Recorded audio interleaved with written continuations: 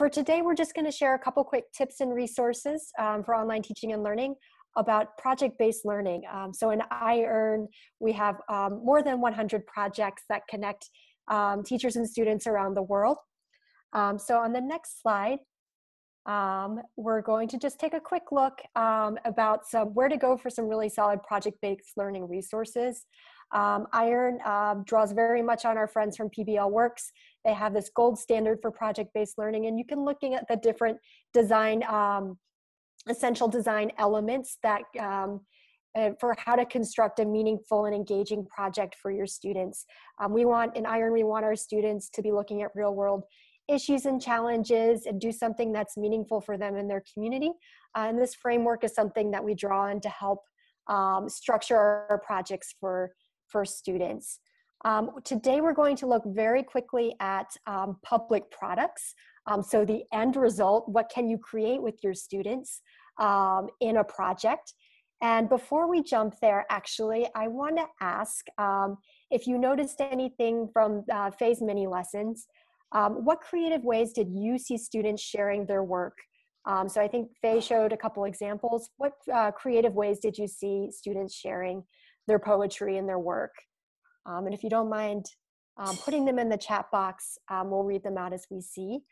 Um, I saw a couple ways that students were sharing their poetry. They were taking the, the all of their learning, learning about writing and poetry and how to express sensory images, and then and then some of them built up, as I see here, into a video um, and using images and really thinking about how they were curating their mes- message. Um, this is a really strong example of, um, of project uh, products um, that you can also then share with others outside of just the classroom, which is another key element of project-based learning.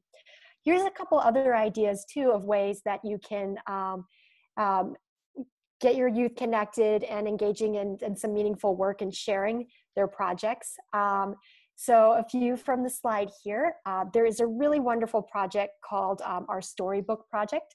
And essentially that is uh, students um, in classes, in different classes, um, write a component of the story and pass it on um, to the next student to add to. And so what you're seeing here is some images of the books. Um, so if you're doing any sort of writing projects, um, with your students, you can have them add to each other's work. If you're at home, um, perhaps with kids, you might per, uh, consider connecting with cousins or friends and having students add to each other's writing and create one big story. Or to pull their work together in, in um, a collection um, that they can publish and share um, with their families. So, um, a way to think about some creative writing and pulling that together. Um, for arts and media projects, um, you can have your students engage in doing photo essays. Um, so I like the Where I'm From poem. We were seeing some images with the text. Um, students are used to documenting so much in, in images, um, and now is really the time to leverage that.